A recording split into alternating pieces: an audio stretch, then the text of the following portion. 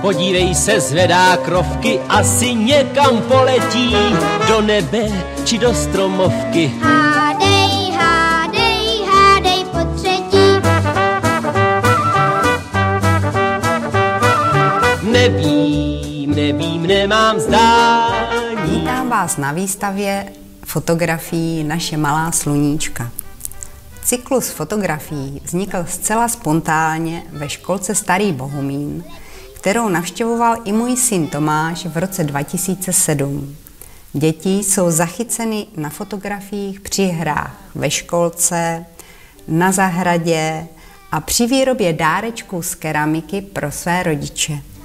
Mé díky patří paním učitelkám, které se tolik starají o tyto děti a spoustu energie věnují tomu, aby ty děti tvořily a učili se žít v kolektivu. Dnes mají tyto děti 20 let a více a tvoří si svou budoucnost. Možná si ještě někdy vzpomenou na chvíle, které prožili ve školce.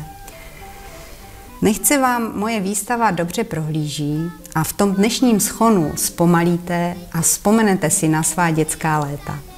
To vám přeje Iveta Mutinová.